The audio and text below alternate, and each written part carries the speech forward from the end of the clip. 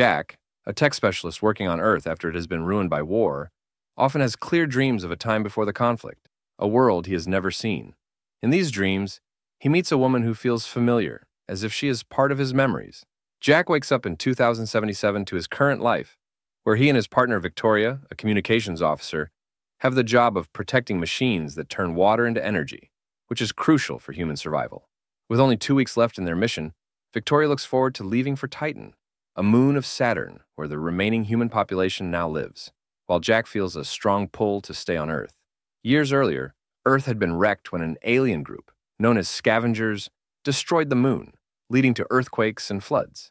Humans fought back with nuclear weapons, managing to stop the threat but making much of Earth unfit to live on. Survivors built a large space station, the TET, as a stopover for the journey to Titan. Jack and Victoria, among the few still on Earth, are assigned to defend the water processing machines from scavenger attacks. Their mission leader, Sally, often praises them as a good team. While Victoria stays focused on their mission, Jack's attachment to Earth is different from her wish to leave. During a regular patrol to check on the water machine, Victoria tells Jack that two protective drones have gone offline. Following Tet's instructions, Jack sets out to investigate. Flying through stormy weather, a lightning strike briefly throws his ship off course, but he quickly regains control. As he approaches his goal, Jack gets ready to fix the first drone, while Victoria watches for any signs of scavenger activity, lands his craft, and gathers his tools. As Jack fixes the drone, he knows someone is watching him. Over the comms, Victoria tells him that there are more scavengers around, but Jack keeps working, determined to fix the problem on his own. When he runs into trouble with the repair, he cleverly uses a piece of chewing gum to fix a broken connection. Just as the drone turns back on, he hears rustling and looks over to see a stray dog watching him from afar. Before the drone can see the dog as a threat, Jack shoos it away. After the drone verifies his ID, it scans the area before leaving, leaving Jack alone in the empty landscape. He stops to eat and talks with Victoria about how Earth will soon be nothing but dust and radiation once they leave. Her words stick with him as he decides to keep searching for the second downed drone. Riding his bike across what used to be a lake, following a weak signal, he arrives at a sinkhole, where he thinks the drone might have fallen. Jack radios Victoria about his plan to go down, but she warns him that TET, their base, will soon shut down, leaving him without support. Not discouraged, he ties a rope to his bike and starts to descend. As he goes down, scavengers watch him from a distance. When he reaches the bottom, he finds the source of the signal but realizes he's lost contact with mission control. He carefully walks across unstable ground, using a fallen beam to cross a gap. But instead of the drone, he only finds a lone beacon.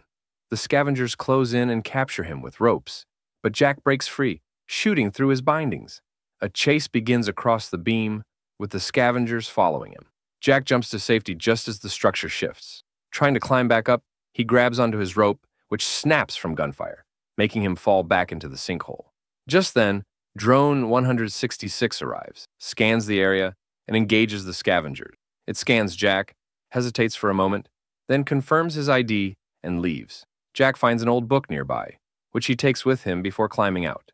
When he reaches the top, he sees that his bike is gone. He has to walk back to the base. Once back, Jack showers and remembers a bright memory of New York City. Later, as he works on another drone repair, he looks at the book he found. But Victoria interrupts him, calling him to dinner.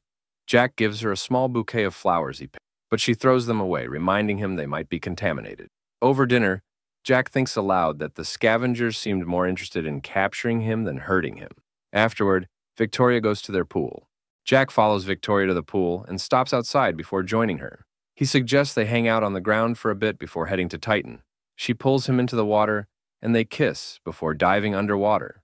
While submerged, Jack sees a vision of a woman from his dreams, which leaves him confused.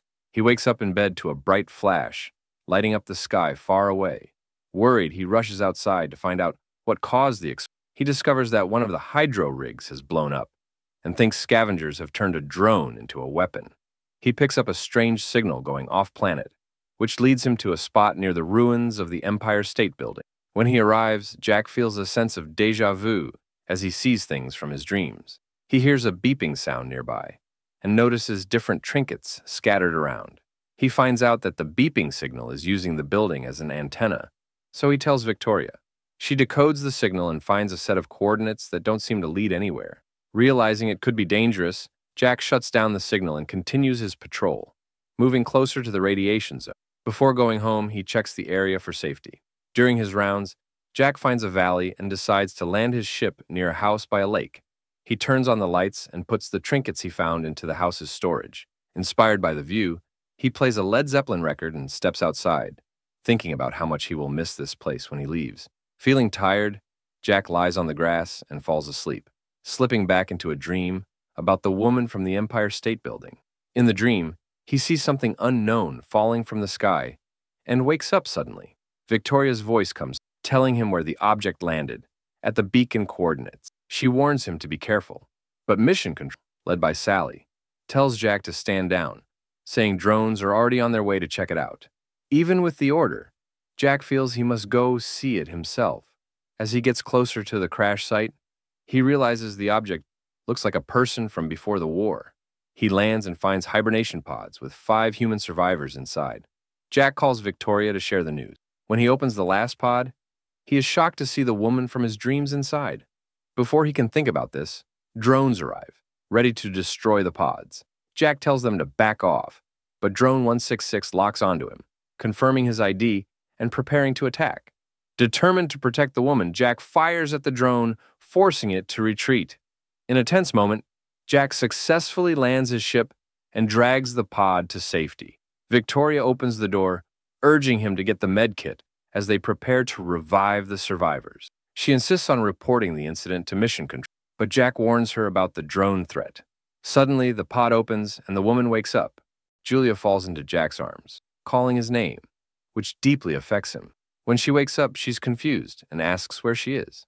Victoria introduces herself and Jack, explaining that Julia was in a crash. Julia learns she's been asleep for 60 years. During lunch, Jack asks about her mission and the beacon. Julia wants to retrieve the flight recorder from her ship, but Victoria warns her that Earth has changed significantly due to an alien invasion. Most humans have relocated to Saturn or are preparing to leave on the TET. Julia laughs at the sight of Jack and Victoria holding hands, but Victoria becomes tense and protective. Later, Jack and Victoria discuss Julia privately. Victoria suggests Julia should leave, and Jack questions if Victoria remembers Julia from before. This upsets Victoria, who reminds him that a scavenger beacon caused Julia's crash. They realize scavengers are nearby, heightening their urgency. When Jack speaks with Julia again, she's worried. He tells her Victoria needs to report her presence to the TET, which will send someone for her. Julia insists on retrieving the flight recorder to understand what happened. Victoria warns Jack that she can't guarantee his safety. At the crash site, Julia uses the ship's camera to look around, feeling impacted by the hibernation pods. Jack expresses regret for not saving the others. Suddenly, Victoria sees something alarming on the monitors and tries to warn them, but Julia is too focused on finding the recording.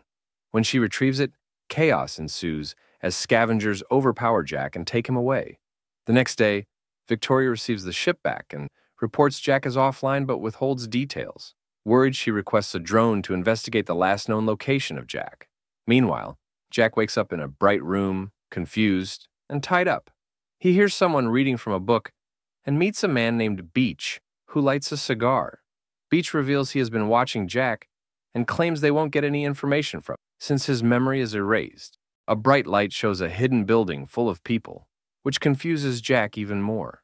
Beech explains that these people, like Jack, are humans hiding from drones that are meant to kill them. Beech asks Jack why he saved Julia from a drone, and Jack replies that anyone would have done the same. Sykes, another scavenger, warns Jack that a drone is following him. They free Jack from his restraints and help him stand up. Meanwhile, Victoria checks the drone data and confirms that Jack's signal has been found. Beech takes Jack to their base and reveals they shot down Julia's ship to steal its reactor. He explains that they can use this reactor, along with fuel from the stolen drones, to make a nuclear weapon. Only Jack can reprogram the drone to deliver the weapon. But that same drone is currently tracking him, putting everyone in danger. Beech insists that Jack must change the drone's target to the TET's core to end the war. Jack refuses, and Sykes tries to shoot him to force him to cooperate.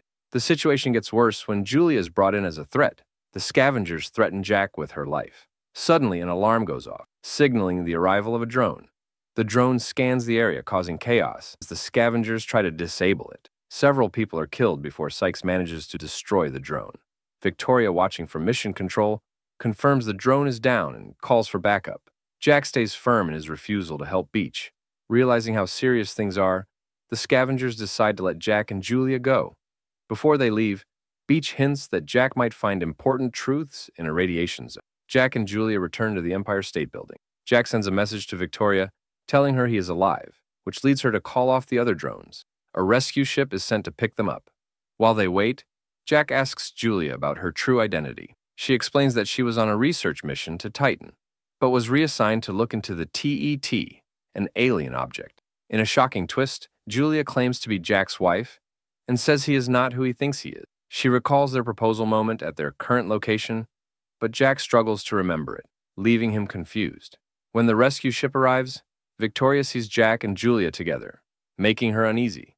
Once back home, Victoria blocks their entry, insisting they must. Jack argues that Julia is his wife, but Victoria is not convinced. She contacts the TET about Julia, ignoring Jack's protests. Suddenly, a drone in the house turns on and targets them. Jack tells Julia to escape, but she hesitates. The drone moves closer, ready to attack, but Julia quickly destroys it, showing her bravery. In a hurry, Jack contacts the TET which wants to bring him and Julia in for a new mission. Knowing they are in danger, Jack and Julia run away as the TET sends drones to catch them.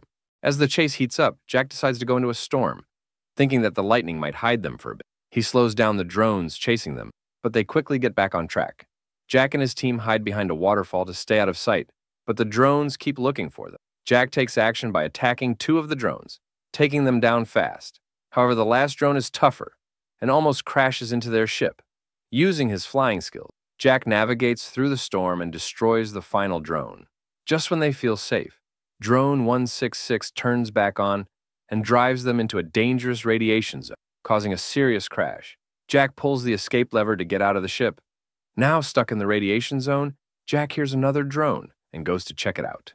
He sees a similar ship land and is shocked to see another version of himself called Jack 52 come out.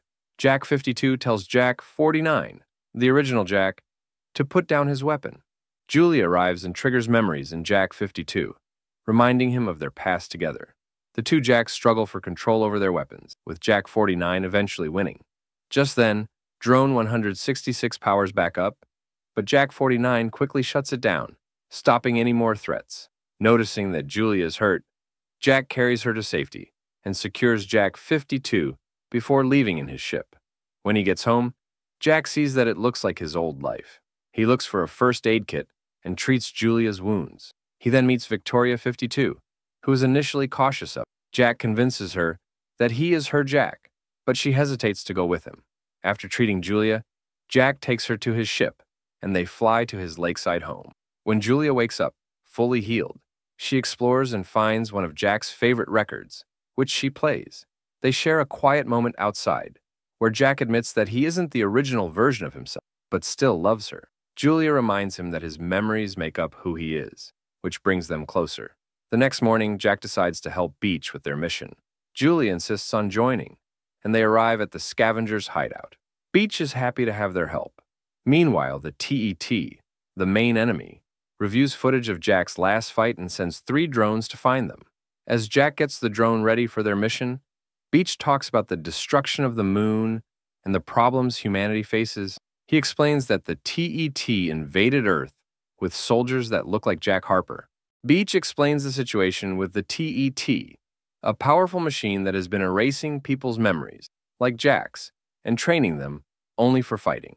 Beech notices Jack's small acts of kindness, like saving Julia, which gives him hope that Jack might be different from others affected by the TET. To resist the TET, Jack activates a drone, and Beech thinks that the TET will soon figure out their plan. Knowing the risks, they want to stop the TET's control. Their plan hits a snag when three TET drones attack their hideout. During the fight, the scavengers try to defend themselves but struggle. Beech manages to destroy one drone but gets hurt, causing them to lose a drone carrying a nuclear weapon. Jack and his friend Sykes work together to take out the remaining drones, but they can't achieve their main goal of destroying the TET. In a new plan, Julia suggests that since the TET is looking for her, Jack can carry her in a hibernation pod, along with the nuclear weapon. They share a goodbye in front of a painting that reminds them of home. Jack places Julia in the pod, telling her to remember their past before sealing it. Jack takes the pod to his ship and heads towards the TET. While flying, he listens to recordings that remind him of his old missions and crew, including his friends Sally and Victoria.